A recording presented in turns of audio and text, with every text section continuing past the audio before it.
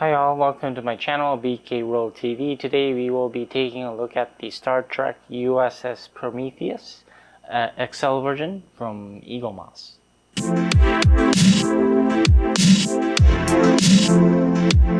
So what we have here today is the Star Trek USS Prometheus, the XL version from Eaglemoss. Uh, I got this over also from Master Replica uh, when they had it in stock. I think it uh, sometimes uh, recently come, come, stock comes and goes. So uh, if you haven't gotten it and want to get it, uh, just check out the Master Replica website. But anyways, uh, so if you take a look, look at the uh, box, uh, you can see the model there. and then just take a look at the side, the back. it's basically another picture of the model. Then we got the uh, logos for all the uh, Star Trek shows. So anyways, uh, we will open this up. Uh, the box did come sealed. I already removed that uh, seal and it takes a while. And this one uh, does come with the magazine, which is which is nice to have.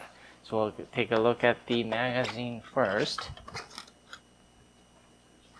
So we take a look, look at the magazine for the USS Prometheus, it's obviously the Prometheus class. Uh, the length is uh, 415 meters. Uh, if we zoom in for you guys right there, uh, it's uh, in the 24th century, and then has the multi-vector. Uh, it's a multi-vector assault vessel. has the that multi-vector assault mode that we see in the Voyager episode. So if we zoom back out, you can see the entire magazine go. uh, so basically, it has the uh, specifications uh, similar to the one I've read earlier. That some of the technology it has is the ablative armor, the regenerative shielding, and the multi-vector assault mode. Obviously, uh, yeah. So basically, I think uh, the Prometheus, when it uh, originally aired, when showed up, showed up in the Voyager episode, it was on a deep space assignment. I think it was on the Shakedown uh, cruise and then got uh, hijacked by Romulans, unfortunately. Uh, I think I believe also has uh, Andy Dick as the uh, EMH Mark II, and then we got the, uh, the EMH Mark One from Voyager, our doctor there. And you got some of the I think the screenshots from the series or from that episode here in this page. Maybe zoom in a little bit, maybe better. but yeah, overall, I when I first saw the episode for from Voyager, I liked the multi-vector assault mode, and I thought it looked kind of cool. Uh, going uh, automatically uh, targeting and showing the Romulan warbird, but anyways, uh, here you can see some of the concept art for the Prometheus as well, uh, as well as you can see the uh, separated sections when it does the uh, multi-vector, goes into multi-vector assault mode. and then uh, I believe uh, this episode also, I think it also used the uh, Hirogen um, communications array, so it introduced the Hirogen species as well. Then we later get to see that uh, those Hirogens uh, in the future Voyager episodes, at least some, uh, at least in a few episodes. But yeah, here talks about I think the uh, as well as other the the creator Zimmerman as well, creator of the EMH. But yeah, overall, I did like the uh, USS Prometheus. as I said was one of the uh, cool looking uh, ships, at least uh, at the time. But anyways, uh, we will now go ahead and take a look at the uh, model itself. So here we have the model. So we'll go ahead and take out the model uh, for you guys. So as you can see, we got the uh, Prometheus in there. We'll take out the model and then the stand and the base as well.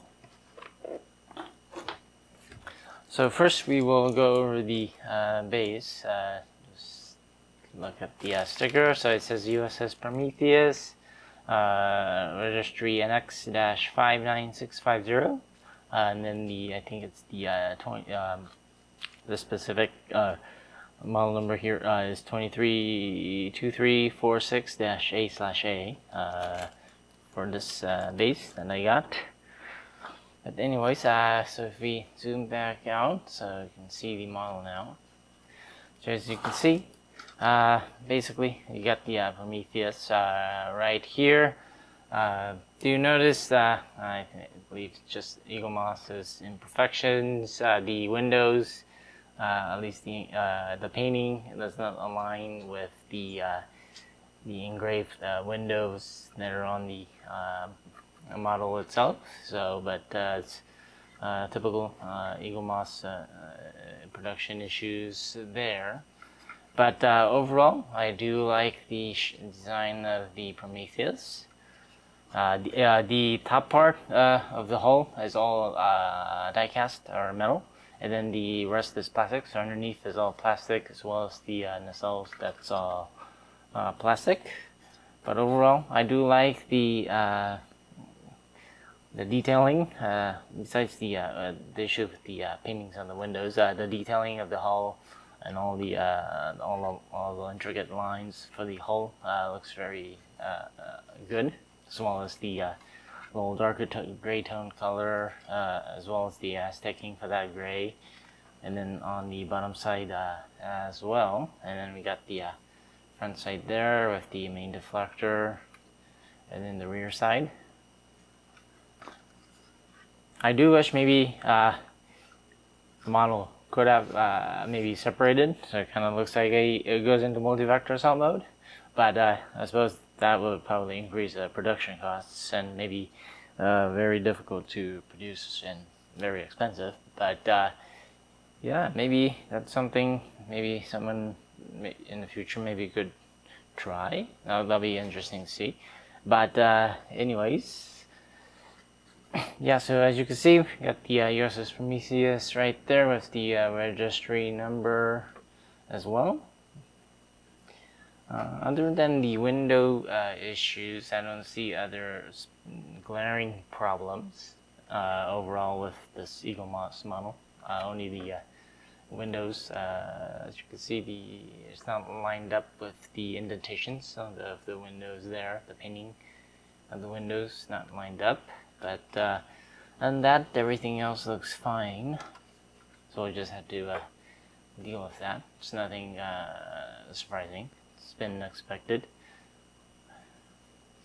But yeah, overall, I do like the uh, design of the Prometheus. Something that looked, uh, at that time, looked uh, cool and futuristic. Uh, let me know down in the comments below what you think of the Prometheus. Do do you like the USS Prometheus or do you like uh, other ships in Starfleet besides the Prometheus? Let me know. But yes, anyways, uh, this has been a just a quick unboxing and review of the USS uh, Prometheus XL version from uh, Eaglemoss. Uh, let me know uh, if you have this model or not, and uh, what you think of it uh, as well, or if you uh, plan to get it from Master Replica or somewhere, uh, uh let me know that as well. Uh, anyways, hope you enjoyed this video. If you did, please don't forget to like and subscribe. As always, thanks for watching, and I will see you next time. Bye.